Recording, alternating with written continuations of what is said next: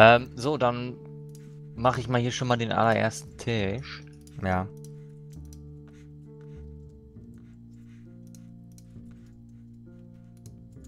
Den Tisch. Tisch. Tisch. Oh, der kommt dahin und der kommt dahin. So. So, hier stehen schon so ein paar Sachen, die zur Theke raus können oder zu den Kunden. Ja, also, ah, ein paar Bilder könnte man auch noch gucken. Ja, nee, wir lassen mal die Bilder erstmal weg. Vor allem, momentan ist es ich, ähm, auch noch ressourcetechnisch. Ich bin momentan in finalen Arbeiten. Eigentlich fehlen nur noch ähm, ein paar Bilder. Bei den Bildern sind momentan ein paar Platzhalterbilder drin, weswegen ich jetzt auch noch keine platziere, weil die sich gegebenenfalls auch noch ändern. Ähm, und, ey, das sieht cool aus. Eigentlich müsste man hier so Pistentische machen. Ja, kann man aber, kann man da dann was drauf platzieren? Teppiche nur, ne? Und Köpfe. Ja, wird ja eigentlich reichen, ne? Wenn man, wenn man eine ähm, Redstone-Kerze oder so haben möchte, müsste man die dann mit Welted platzieren. Boah, mein Hals ist ganz schön am Kratzen gerade. Kratz, Kratz. Ähm, innen nehmen wir immer noch Holz, ne? Als Wandverkleidung. Ja, ja, ja. Da müssen wir auch gleich nochmal gucken, ob wir da vielleicht ein paar zu Treppen machen, um die gegebenenfalls ein bisschen spannender zu gestalten. Ich mache jetzt einfach erstmal eine gerade Wand hoch. Da wird auf jeden Fall noch irgendwas hinkommen. Und wenn es dann später die Bilder sind.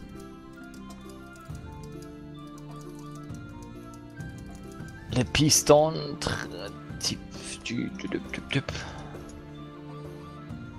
So. Was hast du außen für die ähm, Stützen genommen? Fichtenholz. Dann mache ich das hier auch.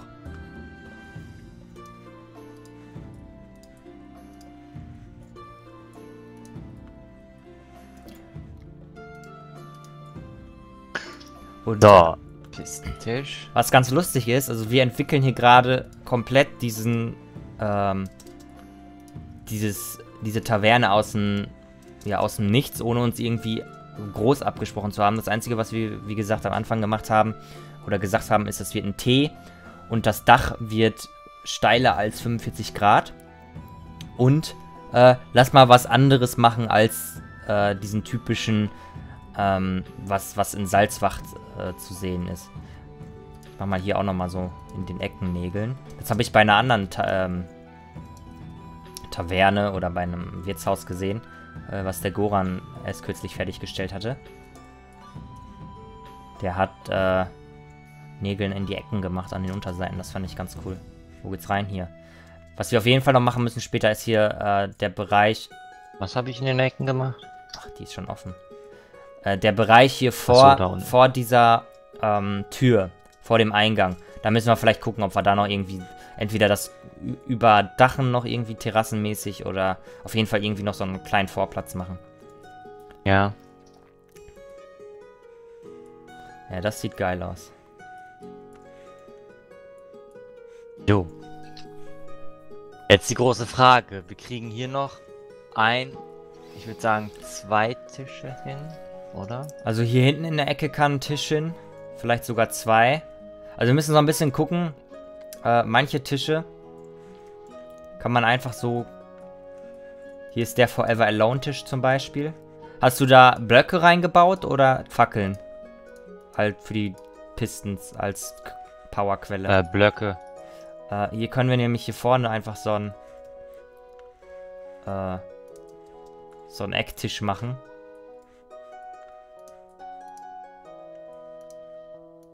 Ja, okay, ja. so Forever Alone ist er auch nicht. Der ist ein bisschen größer.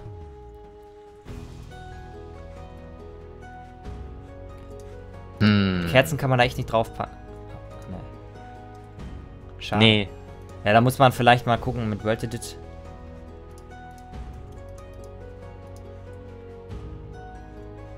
Schade, ey. Hier fehlt um, um eine Breite hier. Um eine Breite was? Um eine Breite würde ein dritter Tisch reinpassen.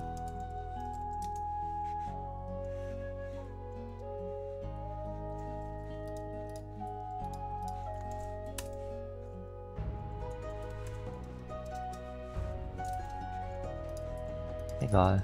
Muss mal hier kurz gucken. Ne, die ploppt sofort ab. Die generiert nicht mal die Redstone Torch.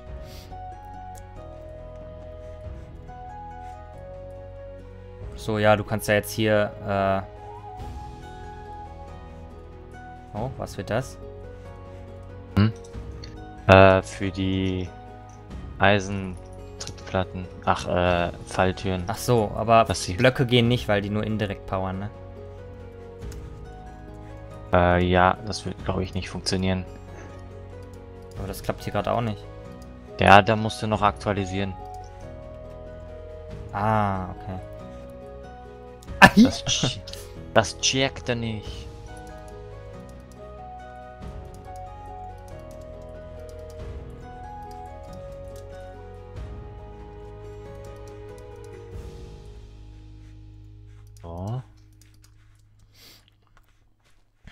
Eins, zwei. Und hier machen wir mal. Ah. Wenn man gerade mal Fahnen braucht, aber der halt äh, direkt die Zufallsgrafik hat, die man nicht will. Ja, das war ja immer so.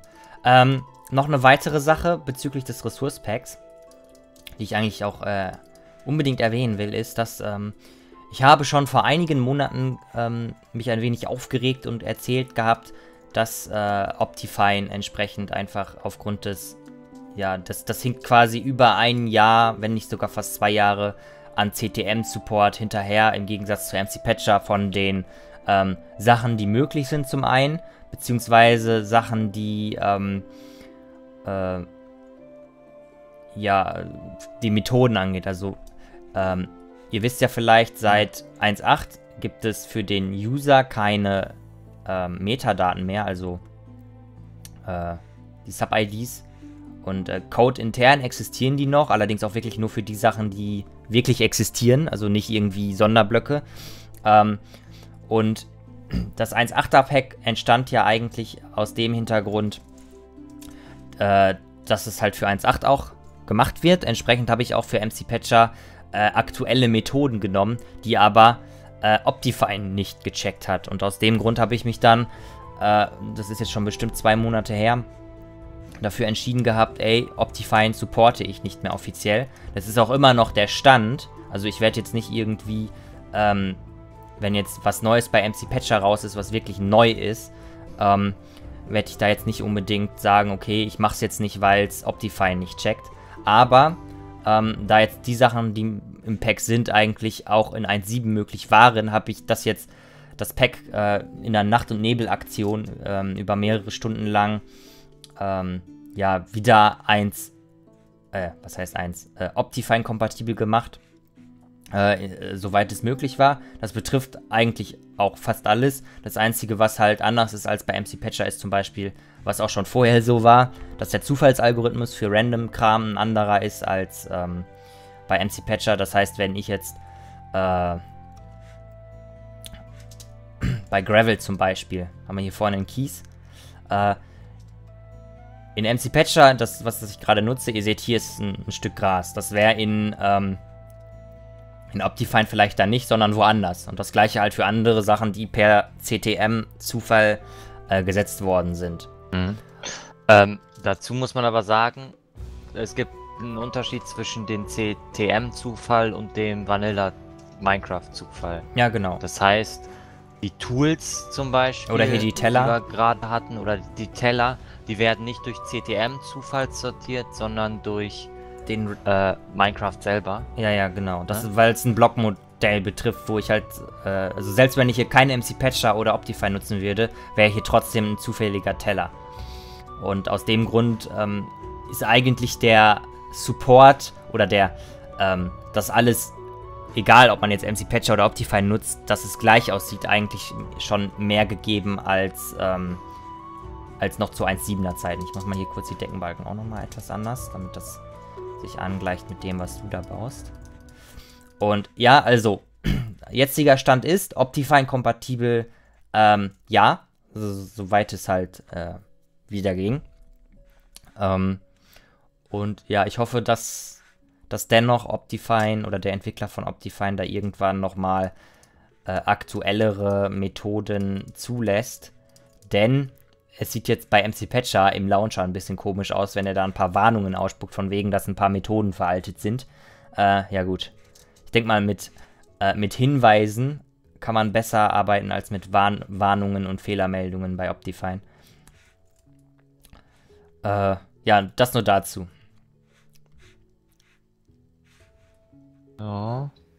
1, 2, 3. 1, 2, 3. Aber ich glaube, so weiter brauchen wir es jetzt auch nicht auszuführen. nö, nö, das äh, soll es gewesen sein zu dem Thema. Ich muss jetzt gerade mal kurz gucken. Du hast hier vorne, hast du den erweitert. Und den hochgebaut. Ja.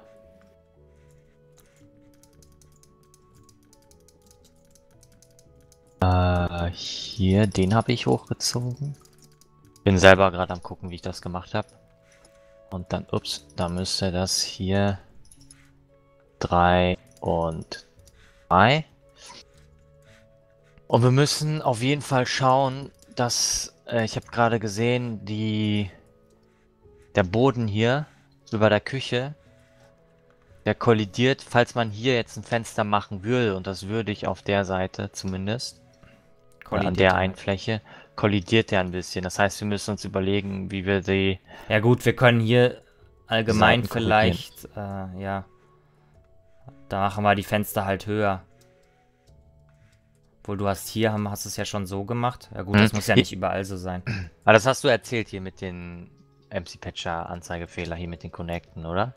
Ja, aber auch nur, wenn es äh, volles CTM ist. Also das hier zum Beispiel ist bei mir... Ach nee, weil es ein Glasblock ist. Ja, Glasblöcke ja, genau. connecten. Glasscheiben nicht. Ich wollte gerade sagen, hä? Hä? Ja. so. Okay. Ich mache da nochmal ähm. hier kurz eine etwas breitere Schutzfläche. So. Ich denke mal, hier oh. hinten sind wir schon eigentlich fertig, bis auf ein paar Bilder, die nachgereicht werden. Dann...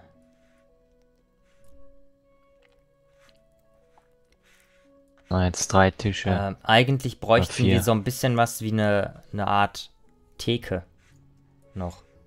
Das ist immer so ein bisschen komisch, wenn der... Wie, wie sieht's aus hier auf der linken Seite? Wo bist du? Hier. Wenn wir hier irgendwie so ein... Ja, irg irgendwas was muss es geben. Und wenn der jetzt nur so drei Blöcke breit ist, dann können wir auch eigentlich... Äh, was? Ja. Okay. Ja, ja. Heißt, theoretisch Oh, Moment, ich nehme mal anderen. Ne, warte, hier das dunkle Holz. Also, oh. Ja, äh, pack. Ja, gen genau das wollte ich gerade machen. So. Und jetzt. Ähm, was man allerdings noch schon für Bilder platzieren kann, sind die, die wir schon vollständig haben, oder? Also sowas wie die Schubladen und so ein Quatsch. Ja, ja.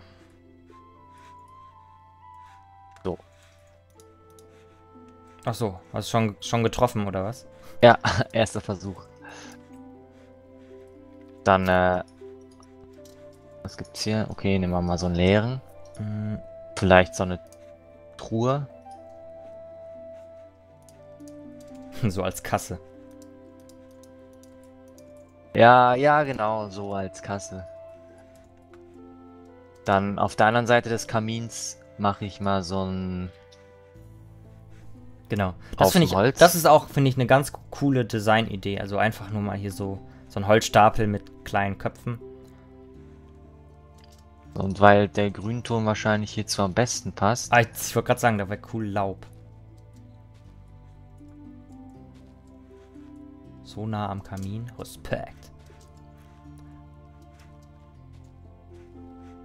Ich mache einfach nochmal, weil es, ich denke mal, äh, der Abwechslung gut tut, hier so einen anderen Holzboden rein. Hinter der Kasse. Oder hinter der Theke.